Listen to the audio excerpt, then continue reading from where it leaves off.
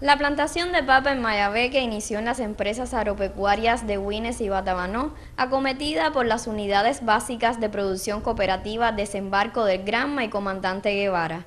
La joven provincia sembrará el 32% de este tubérculo en Cuba, situándola como la primera a nivel nacional. Nosotros para este año estamos contando eh, con una cifra de siembra de papa superior al año anterior. O sea, nos incrementaron 200 hectáreas de papa eh, con respecto al año anterior llegamos a 1.900 hectáreas de papa que se va a sembrar en esta provincia.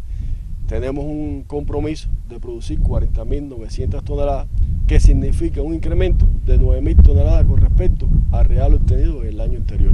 Durante una primera etapa plantarán semilla nacional en las empresas agropecuarias de Wines, Batabanó y Melena y al finalizar el mes en curso continuarán con las procedentes de la importación en estas y otras cuatro empresas de la provincia.